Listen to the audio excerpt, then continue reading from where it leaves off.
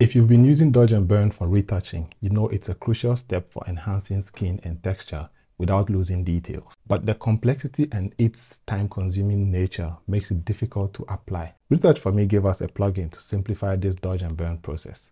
This Dodge and Burn plugin from Retouch4Me has seen an update and it takes Dodge and Burn to a whole new level. What's up Charlie? My name is Kweku Ayer and this is Ghananie Photography. Today I've got an exciting update to share with you on one of my favorite retouching plugins, Retouch4Me Dodge and Burn. This plugin got a serious speed boost, making it faster and better than ever. For those of you who are new to Retouch4Me Dodge and Burn, it's an AI-powered plugin designed to retouch skin automatically.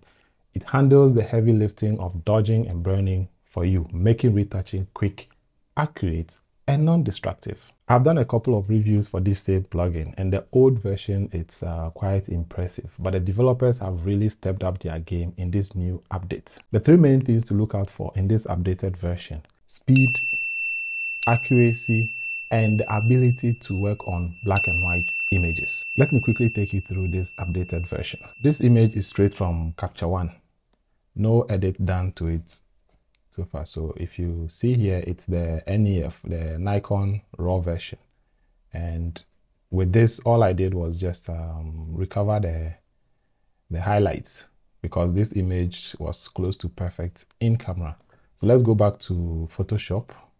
In Photoshop, there are two ways you can use the Retouch4Me plugins, either through the panel here, or you can go through the filter option.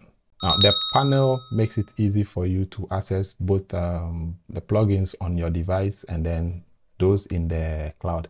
There is a video on how to use the plugins in the cloud. I'll add a link in the description so you can check it out after watching this video. For this purpose, we'll focus on the plugin on our device. I'll go ahead and close this one and we'll use it from here. So we go to filter, Retouch4Me, and then dodge and burn and it opens up this um, window for us. Now this window has seen a big, big update because the placement of the various icons, even the look and feel of the menus on there have changed. Also, the speed at which it opens and then calculates this is marvelous. Comparing this to the older plugin, now these things here have changed. The positioning of these icons, and the whole feel, the look and feel of this thing has changed. And I think I love it. I'm loving this new look. Big ups Retouch4Me. So here we have our icons just like in the, they do virtually the same thing just like in the previous one, just that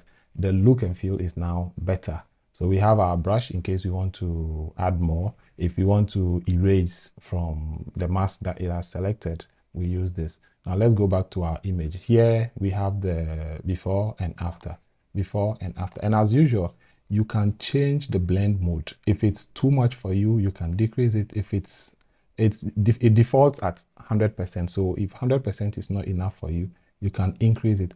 Now we can go here and then increase our image to 150% and look. Take note, we haven't done healing yet. So if you see these uh, blemishes here, it's because we haven't done healing. We are just focusing on dodge and burn. So let's see before and after before and after. This is at 143. So we can go all the way here just to see what we get. This is before, this is after, before and after. And with this, even though we've gone to the highest, we still realize that what the image has still not been destroyed. Every aspect of the image is still available. And you can see here also that it has done some work on the background for us. So you see, this makes it easier. So you see this plugin now works way faster than before. And I must say, I love this update. So let's go back to 100%. And with, uh, let's say 150, I'm okay with 150. So I'll just go ahead and select apply. And here we are with our image. So let's disable this before and after. Let me zoom in. This at 25%. So let's take a closer look before and after. Let's look at it from here, before and after.